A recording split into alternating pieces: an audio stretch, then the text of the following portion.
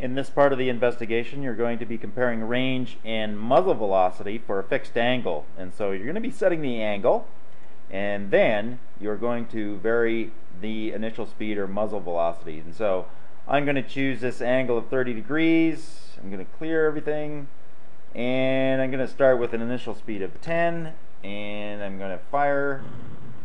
Whoa. Uh, okay, poor guy, poor David, uh, poor Michelangelo's David. Make sure you've got your tape in the right location here on the crosshairs. You might want to be moving your uh, little cannon around a little bit.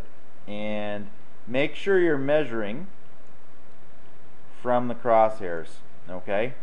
Now that I've done that I'm going to bump my initial speed up to 12 and I'm going to fire and I'm going to measure my distance now. Once again try and make that from the crosshairs go. Now I'm going to go to an initial speed of 14 and I'm going to fire and oh I scored.